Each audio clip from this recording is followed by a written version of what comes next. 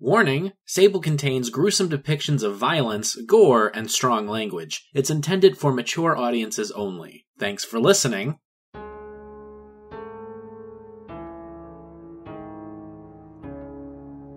Sable, Germany, Part 3 Cracking, violent blisters covered almost the entirety of her two feet, and she winced as she felt each individual one bursting, leaving blood everywhere underneath her. The old one had warned her, had told her the dangers of walking out into the wastes without proper protection. She had clothing for her feet at one point, but they had gotten lost in the journey, torn up almost as bad as her naked feet were at this very moment. At least the clothing felt no pain as its form was ripped to pieces. She was not given such a luxury. Every single step she took was soon followed by an angry, bitter yelp of pain. She didn't know how much longer she had. All she knew was that she had to keep going, had to keep pushing through the agony that befell her. After all, there were only three people in her lifetime that had ever seen what she was about to witness, and perhaps she would be the last. Who is this? Just keep watching. Archimedes stood on one of the thousands of dunes that overlooked this expansive wasteland, the spire of white still within his sights. He didn't remember walking up to this exact point. It was almost as if he had blinked and found himself in a new location, and now he found himself looking upon a strange woman with dark green skin skimming the sands, heading towards the spire herself. Even though she was miles and miles away, Archimedes could see her like she was standing only inches away. A trick by the navigator. The green woman was now edging closer and closer to the spire, its daunting shadow enveloping her. Follow her. See what she sees. But what if she sees me? What if she attacks? What you are witnessing has already happened. You're a ghost. She will not notice you, Archimedes. Still, you need to see just how bad you fucked everything. He wanted to shoot a snide remark her way, but before the words could escape him, his feet were moving once again, this time faster than before. The pain from the heated sand was now just a distant memory, the hot, arid winds of the desert blowing into Archimedes' face as he sped off towards this woman and the spire before them. In mere moments, he was right behind her, watching as she studied the almost buried door, looking for any signs on how to open it. Nessa ukna pulie. What is she saying? You don't need to know. It's not important. Now shut up. Why? You said she can't hear me. She can't. I can. Now shut up. The green skinned woman mumbled to herself in her alien language, bringing a hand up to her face, nibbling on her finger as if in deep thought. Soon, the ground rumbled beneath them, and she took a step back, landing into Archimedes and just phasing through. She didn't seem to feel this, her eyes and her focus locked upon the door as it began to open, a screeching, metallic clang filling the air, causing her and Archimedes to wince. Then it was over, and both of them were now looking into the insides of the spire. Light slowly flickered on inside, and they were greeted with the vision of a hallway lined with mirrors. Everything looked so sleek, like in one of those science fiction magazines that Archimedes had seen some of his employees looking through. Everything just looked so futuristic. The woman was just as surprised, her eyes wide and glistening as she stared inside. Even though it couldn't possibly be true, Archimedes felt like he could feel her heart racing, the sound of every pump filling his ears. Maybe it was his he'd never know. We'll go in. Follow her. You need to see this.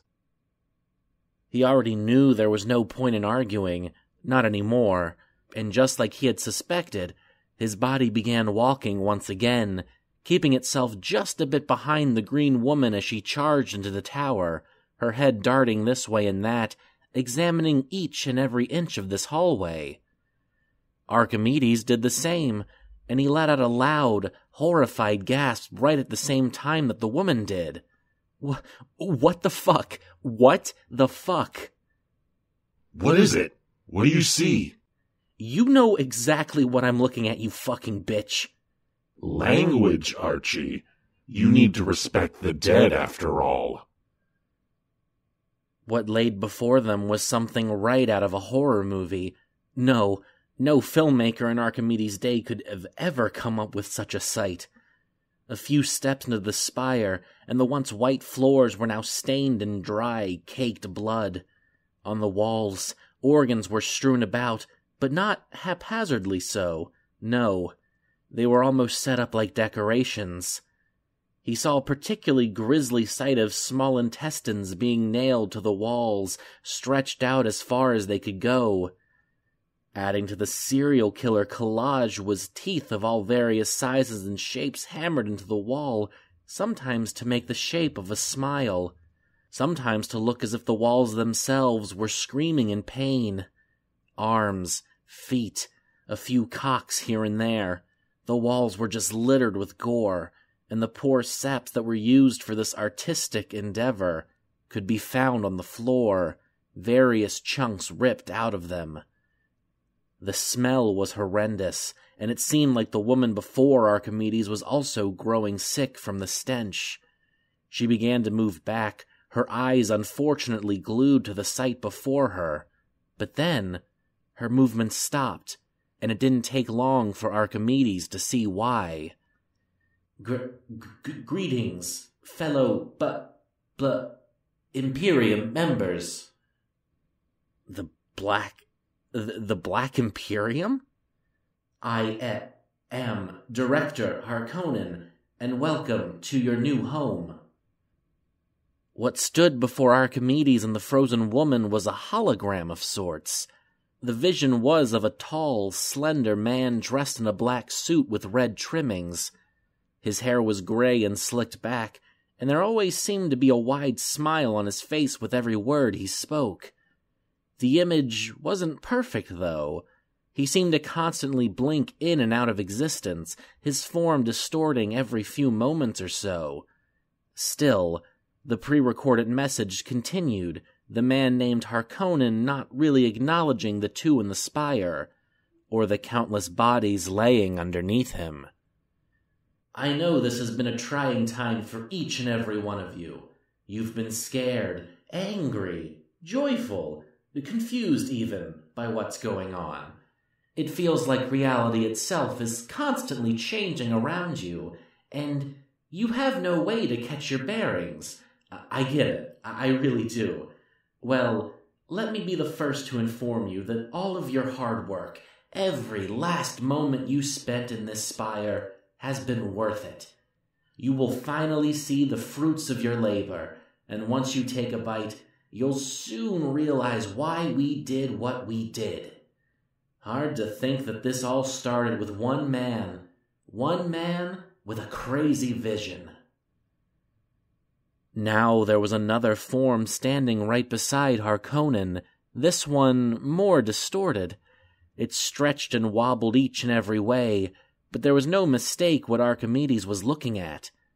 It was himself, smiling into the void, his hands outstretched while a tiny model of the spire hovered inches away from his chest. Hundreds of thousands of years ago, in a faraway land in another realm of reality altogether, a man by the name of Archimedes Porter stumbled upon the meaning of life and everything else. He witnessed the reality of all things, what created us, and what would eventually save us. Now, back then, when the Black Imperium was an itty bitty organization, it had no idea what to do with these findings. We tried researching the spire Archimedes had found. We tried examining the god inside the spire, wishing to unlock the mysteries it held, but, alas, Nothing fully concrete came from all of this work. Still, Archimedes kept working and working until finally he had the answer the spire. A spire of our own design would be what saved us, what saved humanity. But then, something tragic happened before any construction could begin. The room shook violently as a holographic mushroom cloud soon filled the entire hallway, practically blinding Archimedes and the poor woman now beside him. Harkonnen walked around this explosion, his face taking a dour expression. The year was 2125 AD.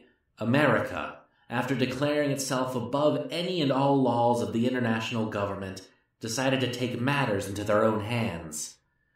The first bomb goes off in Europe, killing countless amounts of innocent people. Then it fires upon Germany.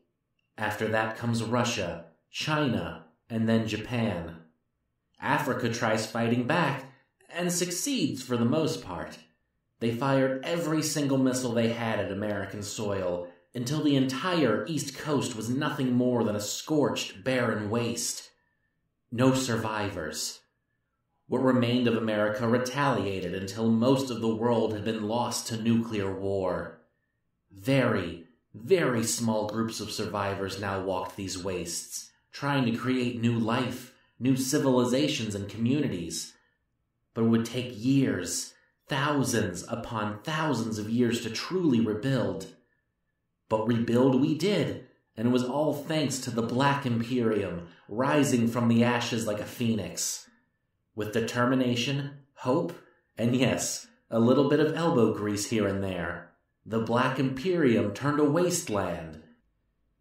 Now there was a display of what looked like a massive city, towers bigger than Archimedes could ever dream of.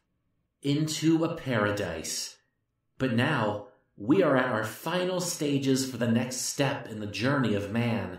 We are so close to the dream that Archimedes Porter had so many, many years ago. This spire that you find yourself in, this is a key.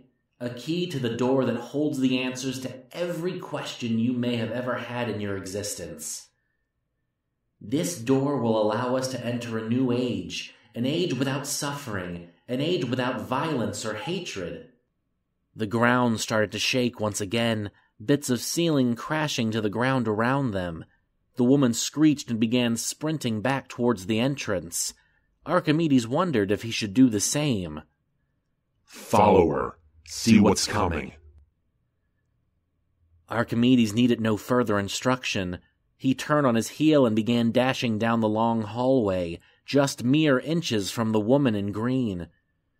The shaking grew more and more violent until it sent the two into the air, their bodies soaring out of the spire and back into the heated desert. They crashed into sand, the woman screaming in pain as her body was covered in the molten hot material. Archimedes did feel a burning sensation, but it must not have been as severe for him as it was for her. A great loud humming soon filled his ears, sending him back onto his feet, his hands holding at his bloodied ears. The woman was doing much the same, her eyes locked to the sky in deep horror. What the hell is going on? The end of this world's existence. Look up. L- look up? Why? Just do it. This time, Archimedes needed no force to lift his head up to the sky. His curiosity was getting the better of him, and soon enough, a loud gasp left him, his eyes growing into saucers as he looked upon the giant mass that was now hovering before him and this woman. It was massive, seeming to cover the entire sky in its form. It looked. It looked like a planet. But how was any of this possible? He could see every facet of this world almost perfectly. He could see entire cities, farmlands, yet everything seemed hobbled together, like some idiot god just slapped everything together in one night. There was no rhyme or reason to any of this. Hell, some of the infrastructure didn't look human. There were shapes that no human could have crafted, designs never even conceived by man. But the strangest, most unsettling thing about this planet was what lay underneath all the infrastructure, all of the haphazard cities. The entire thing seemed to be breathing. Parts would pulsate, rising before deflating back down. Something was moving underneath the surface, and somehow Archimedes could see every bit of it. For a moment, he even swore that he could see eyes opening and closing in random locations across the sphere. Then, the thing screamed, and the world around Archimedes shattered. Reality was breaking all around him. The woman seemed to melt into the sand, her last words a cry for help, he assumed. She reached out with one trembling hand before she disappeared, the sand that swallowed her up now heading towards this new monster.